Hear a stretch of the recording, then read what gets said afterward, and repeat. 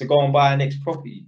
Uh, that's what happens, man. You recycle your money. What I'm saying. Leaving money uh, rotting away and gathering dust in the bank not going to do nothing for you. Your money needs to be working for you.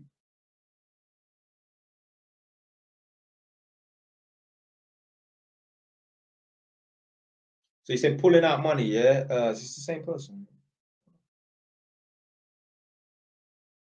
Oh, yeah, pulling out money. Yeah, man, do that, man.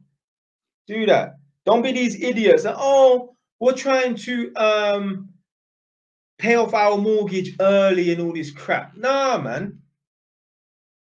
Or to become financially free. Like what?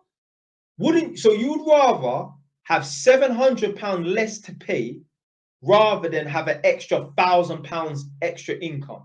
I'll take the thousand pounds because obviously the thousand pounds means you got 300 extra profit plus you're showing the banks or whoever's interested that yo you're making a thousand pounds extra.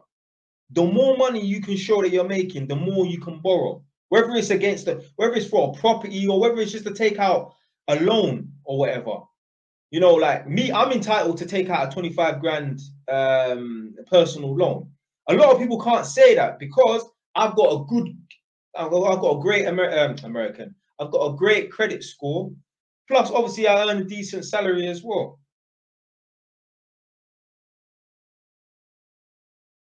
You're never going to get rich trying to cut down your your your expenditure on that. Now, obviously, to save money, you've got to cut down your expenditure on that. But that thinking there, oh, let me um try and pay off my mortgage early so I don't have to spend this extra 700 pounds. Bro, if 700 pounds really means a lot to you, then fam, you got bigger problems.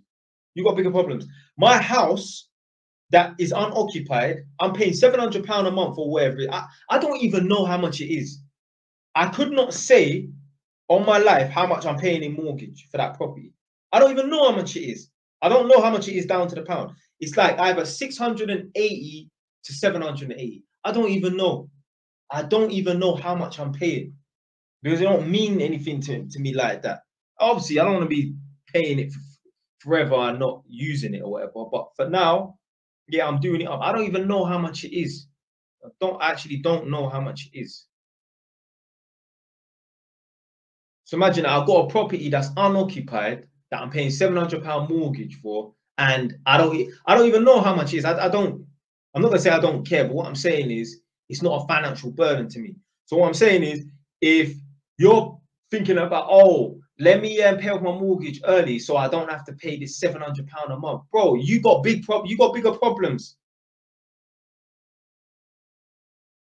You you have got bigger problems, rude boy. Someone said which house? I got I got another house around the corner. So I'm in a three bed house now. I got so I got a house around the corner as well. I mean, I got three flats as well. So I got a total of five properties.